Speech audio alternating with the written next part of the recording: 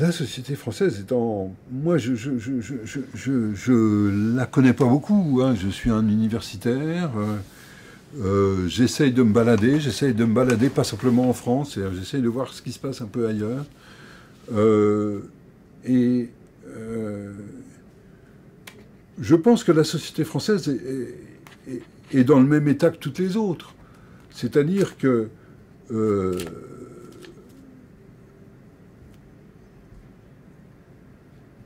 Je vais vous donner un exemple, euh, justement, en partant à l'étranger. Je pense qu'il faut, pour penser bien euh, une localité, que ce soit la, sienne propre, que ce soit son pays, euh, je pense que pour penser bien une localité, il est absolument nécessaire de se déplacer et d'aller voir ailleurs. Parce que nous sommes ailleurs. C'est pas aller voir ailleurs si on y est, c'est on y est ailleurs aussi. Et je pensais au mouvement qu'il y a eu au Brésil l'an dernier.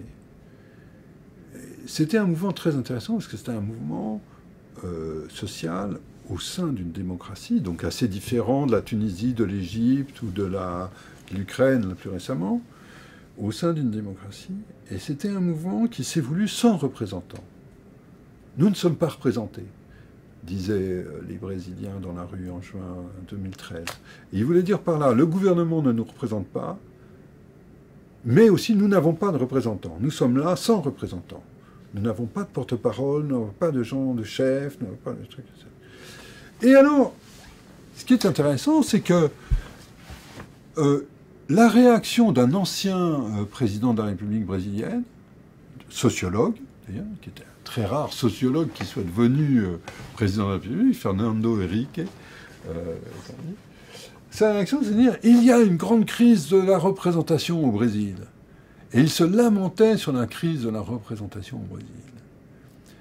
Et je pense que, en fait, c'était une grande chance qu'il y ait cette mise en tension, si vous voulez, d'une d'une démocratie représentative et d'une autre forme de présence euh, de, l'expression revendicative, pas moins démocratique, simplement qui cherche à innover, à renouveler les formes de la légitimité démocratique.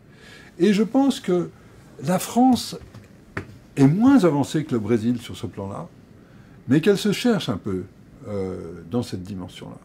Elle est très insatisfaite apparemment de, des formes de la représentation euh, traditionnelle. Euh, mais elle n'a pas encore trouvé autre chose. Elle. Et pourtant, beaucoup plus qu'au Brésil, la France utilise la rue. Et aussi bien la France contre le CEP, le contrat de premier emploi, que la France du mariage pour tous, hein, euh, ou de l'anti-mariage pour tous. C'est rigolo parce que la rue en France gagne. La, le, CEP a été euh, abandonné. Euh, la manif du mariage pour tous a fait qu'on a, qu'on a suspendu euh, la décision sur la loi sur la famille. Donc il y a des formes effectives et réelles de présence démocratique dans la rue de groupes sociaux qui n'ont pas leur représentation, si vous voulez, dans la vie représentative euh, traditionnelle.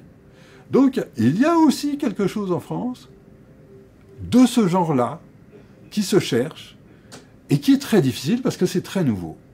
C'est très nouveau parce que pourquoi c'est très nouveau? Et ça, c'est l'historien qui va parler euh, encore un peu. C'est parce que c'est une critique en acte du XXe siècle et justement de ces formes de représentation et aussi une critique de, de cette idée que il faut absolument que nous soyons organisés, que nous ayons des chefs, que nous ayons des leaders, etc., etc., tout ce qu'on nous a seriné de mille manières pendant le XXe siècle. C'est une critique que font les gens. Euh, et euh, que font les gens dans la rue, et parfois au prix de la vie, vous l'avez vu en Ukraine, au prix de leur vie.